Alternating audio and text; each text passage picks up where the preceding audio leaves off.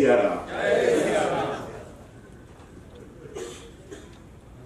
Shri Hariom films Lokhandwala Mumbai द्वारा आयोजित दीपावली स्नेह मिलन यहाँ सीरियल फ़र्स्ट लुक पोस्टर लोकार्पण the great mock Swami Vivekananda के इस गरिमामयी कार्यक्रम में मैं आप सब लोगों का स्वागत करता हूँ, अभिनंदन करता हूँ।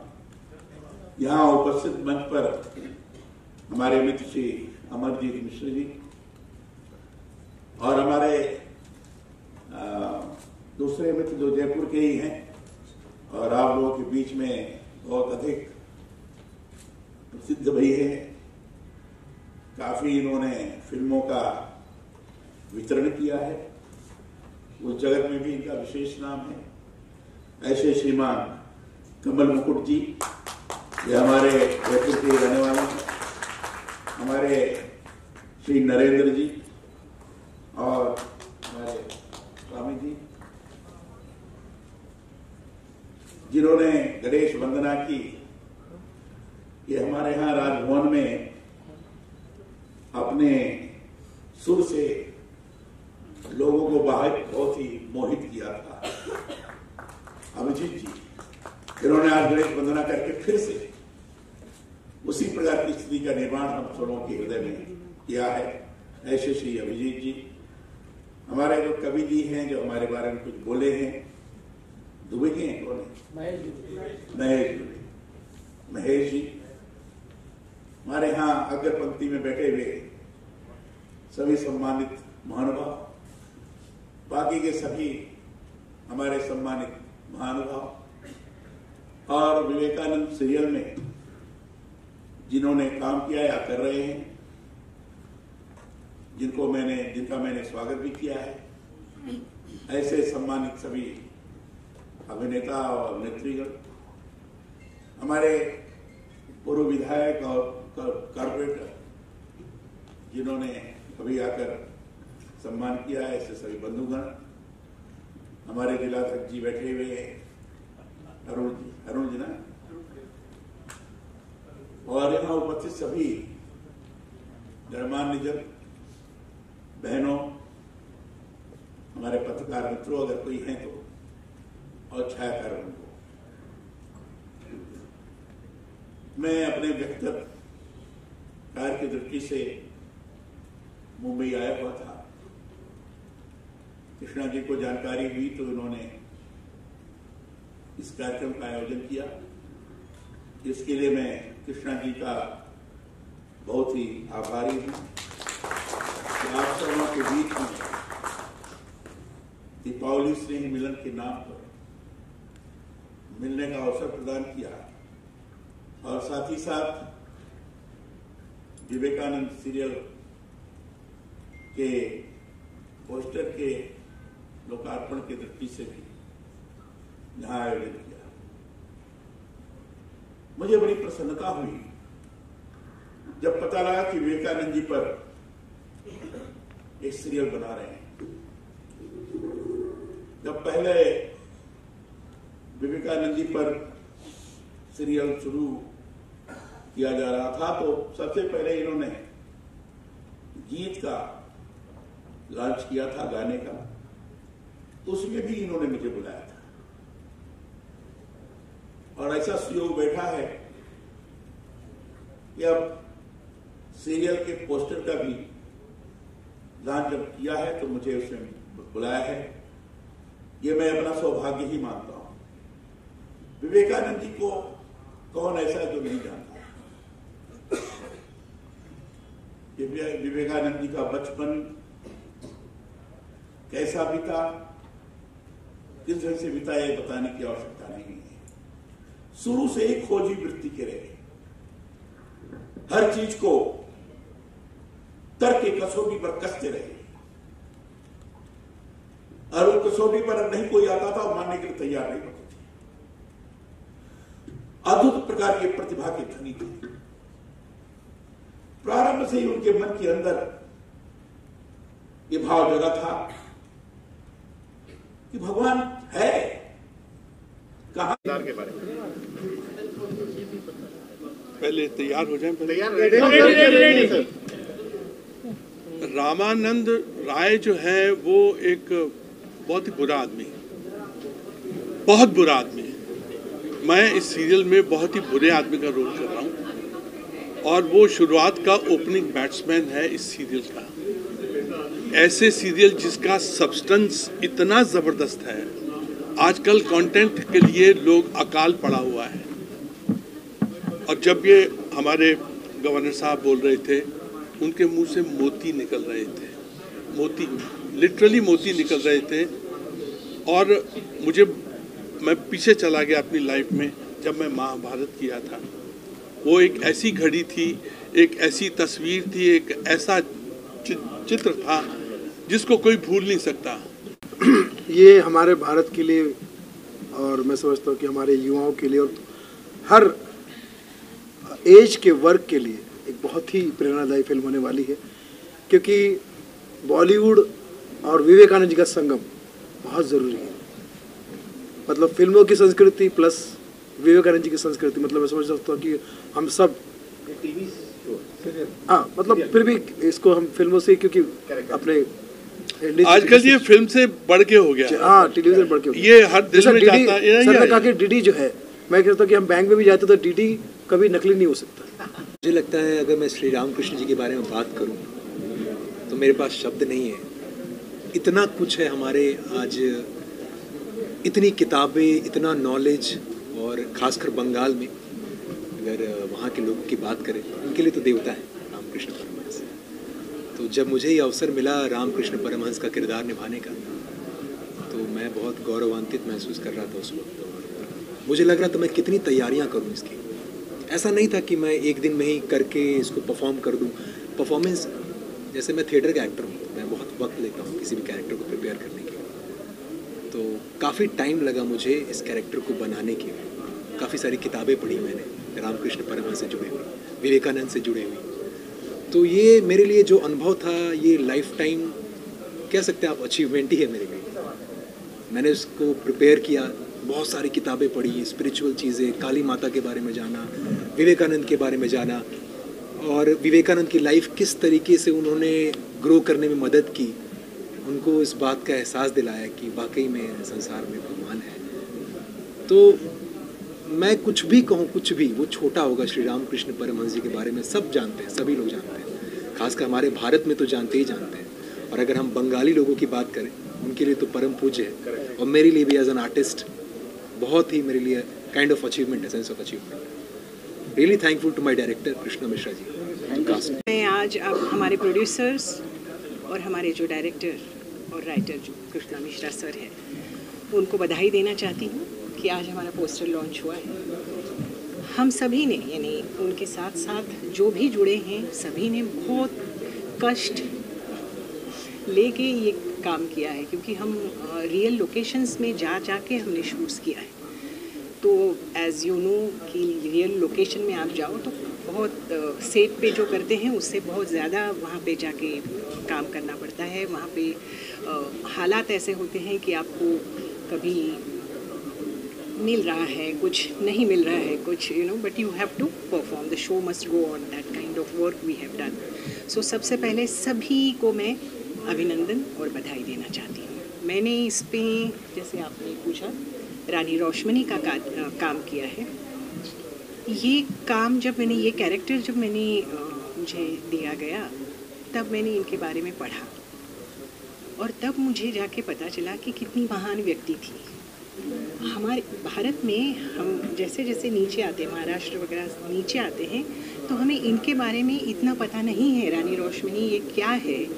उनका विवेकानंद जी के जीवन में या परमहंस जी के जीवन में क्या उनका महत्व है? उन्होंने ये हमें नहीं पता है, वो सब अभी इसमें सीरियल के ज़रिए हमें पता चलेगा सब कुछ। उन्हें वैसे रानी राशमनी जी को बंगाल की अहिल्या देवी कहते हैं। तो इससे आपको समझ में आ जाएगा कि उनका क्या किरदार है, या उनका क्या कार्य है। उन्होंने वहाँ बहुत मंदिर वगैरह बनाए हैं, जो वहाँ का जो काली माता का मंदिर है कलकत्ता का, वो भी उन्होंने ही बनाया है। तो ये बहुत ही सुंदर कैरेक्टर है, जो सर ने कहा कि आप करो। तो हमने किया। तो बस। बहुत आनंद आया बहुत जानकारी मिली क्योंकि जब भी मैं कोई कैरेक्टर चूज़ करती हूँ तो यानी जब करती हूँ तो उसके बारे में सब जानकारी इकट्ठा करती हूँ तो that helps me to perform better to portray that character better thank you madam thank you कि जब कोई सपना पूरा होता है जल्दी होने का होता है तो भावुकता अपने आप आ जाती है। सर पहला सॉन्ग बाद में सीरियल जी। सर किस तरीके से आपका पहला? पहला सॉन्ग था किस- हाँ गीत लॉन्च किया था और इसके बाद ये पूरा सीरियल बीस एपिसोड करीब हमने रेडी कर लिया है। और विवेकानंद जी के बच, रामकृष्ण बच, रामकृष्ण परमहंस से बचपन से शुरू किया है और विवेकानंद के बचपन तक हमने शूट कर लिया है। कुछ और भी चीज़ें आ चुकी हैं।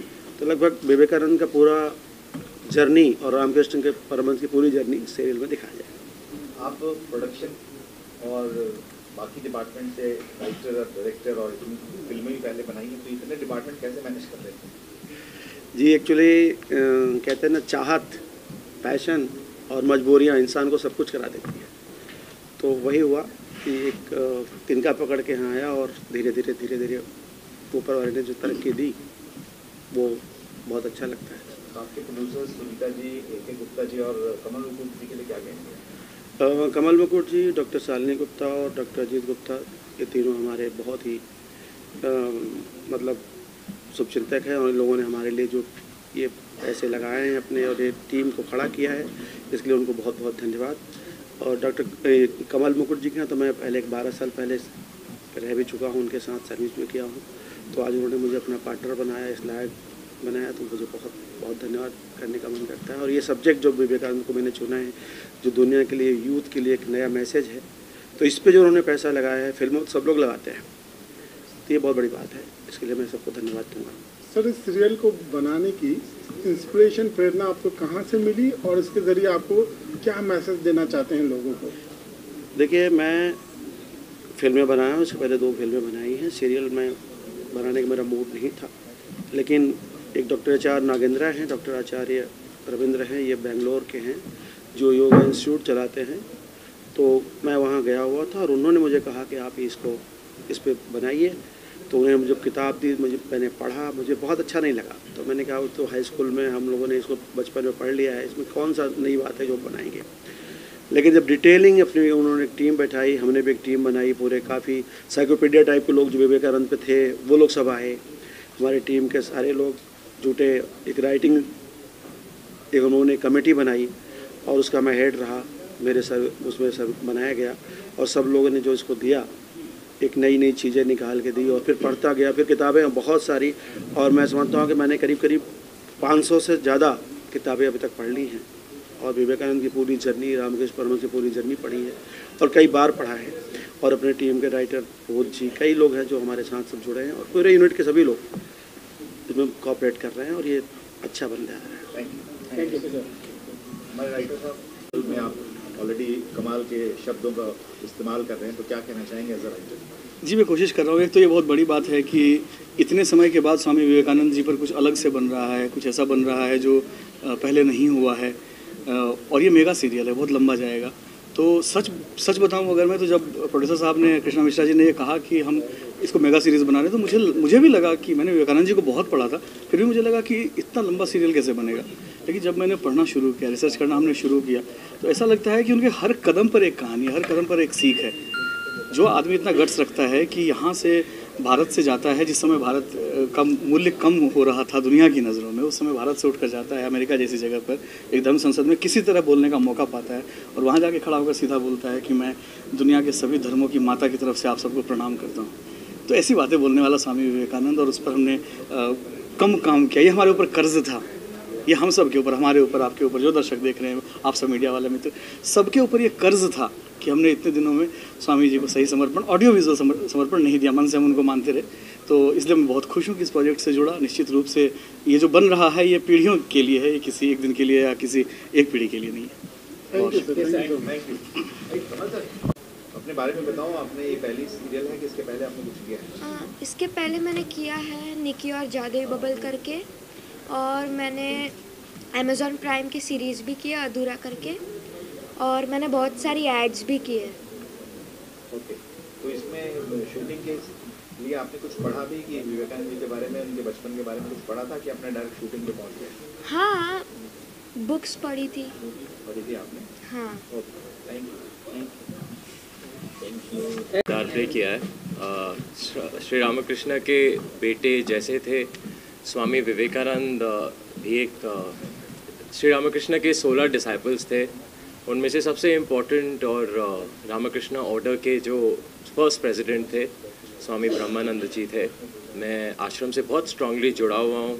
स्वामी विवेकानंद को मैं बहुत मानता हूँ। सारे जितने भी हमारे स्वामी हैं रामकृष्ण मिशन के उनसे बहुत नज़दीकी रिश्ता है मेरा। जब भी मैं दिल्ली जाता हूँ I always meet them and I I get a lot of inspiration from Swami Vivekananda तो जब कृष्णा सर ने बताया कि ये प्रोजेक्ट कर रहा हूँ मैं so it was it was like a dream for me to be a part of this I had to be a part of this बहुत अच्छा लगा।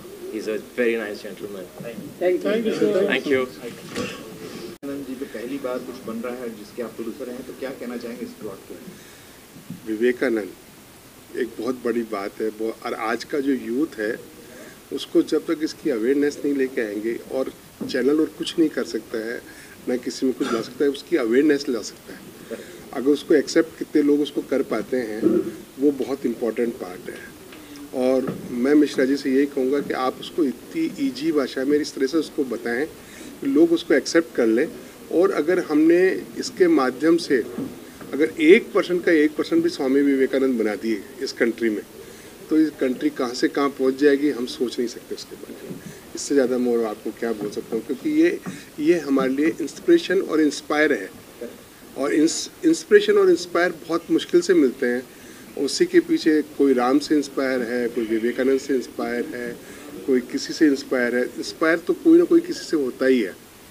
तभी उसको एक्सेप्ट करता है। और मैं चाहता हूँ विवेकानंद को हर आदमी एक्सेप्ट करेगा, क्योंकि उनमें जब मैंने इनके बारे में इतना सुना, जैसे आज गवर्नर साहब ने बिना कोई प्रैक्टिस के, बिना कोई चीज़ के बाद भी वो इतना कुछ बोल गए और मुझे जाते जाते बोले कि अगर मेरे पास टाइम की अगर बंदिश नहीं होती, मैं दो घंटे से कम नहीं बोलता उनके ऊपर। तो मीन्स एक जो कि इतने बड़े गवर्नर, इतनी बड़ी पोस्ट के ऊपर बैठे और उन्होंने ये जब इतनी बात कह सकते हैं कि मैं दो घंटे विवेकानंद के ऊपर बोल सकता हूँ। तो ये मेरे अहोभाग्य है और मेरे लिए बहुत गुड लक की बात है कि मैं इस प्रोजेक्ट के साथ जुड़ा हूँ। इससे ज़्यादा मैं अच्छा सर बस एक ही सवाल कि सीरियल कौन से चैनल पे आने की प्लानिंग हो रही है? देखिए ये बहुत बड़ा क्वेश्चन है। क्या है हर चैनल का अपना एक मिजाज है। अगर आप जैसे नेटफ्लिक्स में जाएँगे उनका अपना एक मिजाज है अमेजोन का अपना एक मिजाज है हर चीज़ का। अब ये किसके मिजाज में बैठता है? एक दफ़ा बन के आता है, फिर उसके बाद डिसाइड करते हैं कि मैं ये चाहता हूँ कि सोने पे सुहागा आना चाहिए। एक और एक ग्यारह होने चाहिए मैं एक और एक दो नहीं होने चाहिए। दस माई पॉइंट पीयूष सुहाने और मैं निभा रहा हूँ इसमें राम कुमार का किरदार, जो कि स्वामी रामकृष्ण परमहंस के बड़े भाई थे और अंतर्ज्ञाता थे। इनकी जो सबसे बड़ी खासियत थी वो ये थी कि आने वाले कल में जो होने वाला है, इनको दिखाई देता था। तो बहुत मज़बूत किरदार है। लगभग शुरू के 20 एपिसोड राम कुमार और रामकृष्ण परमहंस जी के इर्द गिर्द घूमते हैं। देखेंगे, बहुत आनंद आएगा। और जैसा मुझे जाना जाता है, वो जाता है नेगेटिव कैरेक्टर्स के लिए सबसे ज़्यादा। ऐस, ऐसे माहौल में जब मुझे जाने जाने नेगेटिव के कारण जाना जाता है, पर मुझ पर बिलीव किया कि भाई इतना सकारात्मक किरदार दिया है कि आप अंदाज़ा नहीं लगा सकते। कुछ एक सीन ऐसे हैं जिसमें शायद आपकी आँखों में आँसू भी आएँगे। शुक्रिया। इसमें मैं धर्मदास लाहा का कैरेक्टर कर रहा हूँ, जो एक बहुत बड़े ज़मींदार थे वहाँ के। और उन्होंने रामकृष्ण परमहंस के पिताजी को बहुत सपोर्ट किया, क्योंकि बहुत गरीबी से गुजर रहे थे। तो धर्मदास लाहा का उसमें बहुत बड़ा योगदान है उस परिवार को सपोर्ट करने में, उन्हें आगे बढ़ाने में। तो वही कैरेक्टर मैं प्ले कर रहा हूँ। धर्मदास लाहा का बहुत स्ट्रॉन्ग कैरेक्टर है और उनके नाम पे वहाँ पर एक बाज़ार भी है लाहा बाज़ार। तो जैसे मुझे पता चला कि कृष्णा मिश्रा जी विवेकानंद पे सीरियल बना रहे हैं तो मैंने उनको अप्रोच किया तो मुझे बहुत खुशी हुई मैंने उन, उन्हें अप्रोच किया और मुझे लगा कि मुझे इस सीरियल में काम करना चाहिए। तो उन्होंने मुझे धर्मदास लाहा का कैरेक्टर दिया और बाकी मैं प्रे करता हूँ कि ये सीरियल जो है सुपर डुपर हिट हो। Best of luck sir thank you so much